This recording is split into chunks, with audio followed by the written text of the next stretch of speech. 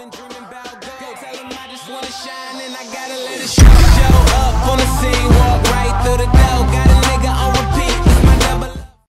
salut à tous les amis, c'est Virtuos, j'espère vraiment que vous allez tous très très bien. Écoutez, aujourd'hui on se retrouve sur GTA 5 Online sur AllGen pour faire part d'une petite vidéo d'information. Alors je tiens à le préciser dès le début de cette vidéo, ces informations ne sont en aucun cas officielles. C'est encore une nouvelle fois des codes sources qui ont été trouvés par des modeurs.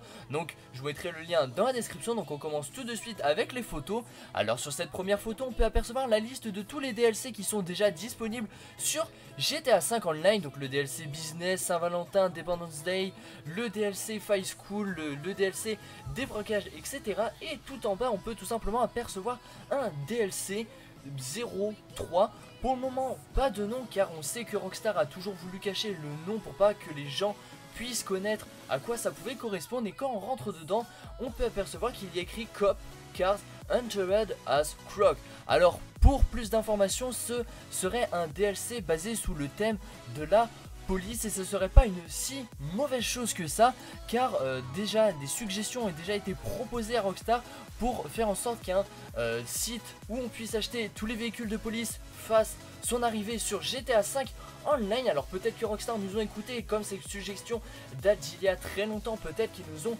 écouté peut-être que c'est un tout nouveau mode qui va nous permettre de faire comme sur GTA 4 voleur euh, policier vs voleur et ça pourrait vraiment être bien sous forme de policier vs escroc mais cette fois-ci sur GTA 5 Online version améliorée ça pourrait vraiment être super bien.